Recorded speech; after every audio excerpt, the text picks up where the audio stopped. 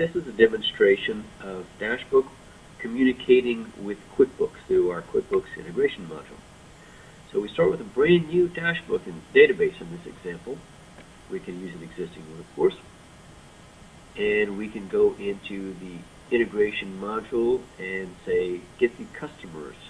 We don't have any right now. If we look, we have uh, just the default uh, no information in the customer section, no information in the product section.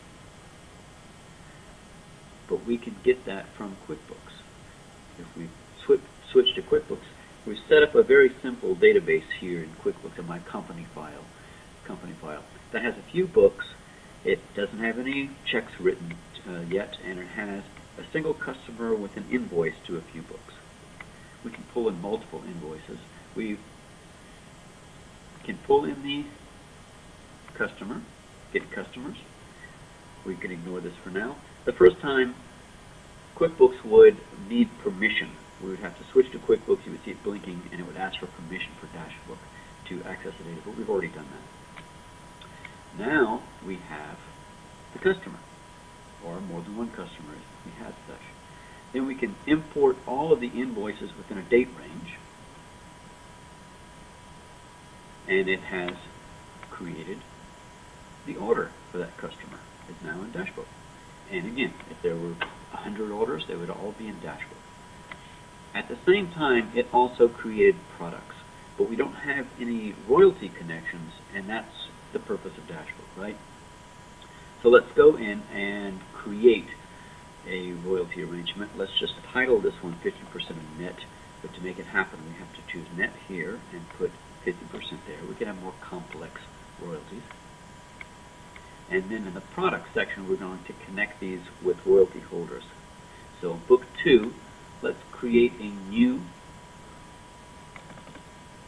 vendor or uh, royalty holder, author two, and save that so we can connect up that royalty.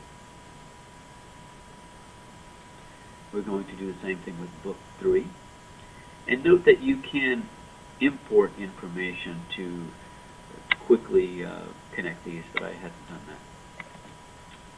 So, but it's very easy to create your data as you go. Now we have just connected up author 2 getting royalties for author 2's books and author 3. We don't have any royalties calculated because the only orders we have here are still in the open state. So if we glance at advanced to look at the royalty calculations, a very nice auditing trail there. We can close and apply changes and you'll see, bam, there's our answers. That's the royalties that we owe from selling these products. And of course, Dashbook can handle more than one order worth of data. We can further finish this off by going into pay the royalties as of a certain date. Let's just make it easy and say today.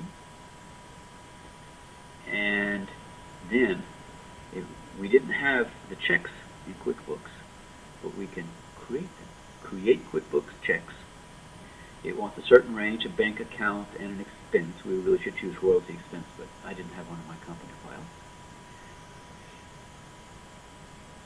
And there you see now it's actually created the payments into QuickBooks.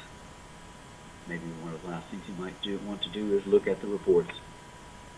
And uh, this is one of the many styles of reports we have that says, okay, for royalty, uh, for author two, there's book two, and there's you know there's your sales and, and results there. So that's all it takes. You saw very quickly how we can get this done by communicating with QuickBooks, and Dashbook can do a whole lot more. Thank you.